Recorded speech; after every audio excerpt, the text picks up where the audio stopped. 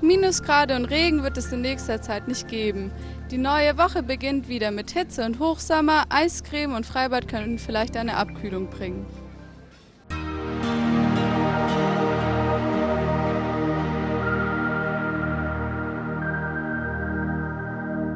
Die neue Woche beginnt mit viel Sonne und hochsommerlichen Temperaturen. Am Montagmorgen können sich noch ein paar Wolken am Himmel zeigen.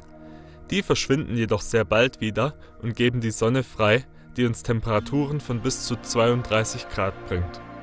Die kommenden Tage haben nicht weniger Sonne im Gepäck. Der Dienstag startet bereits mit Temperaturen von bis zu 34 Grad. Am 1. Augusttag, dem Mittwoch, können sich ein paar Wolken am Himmel zeigen.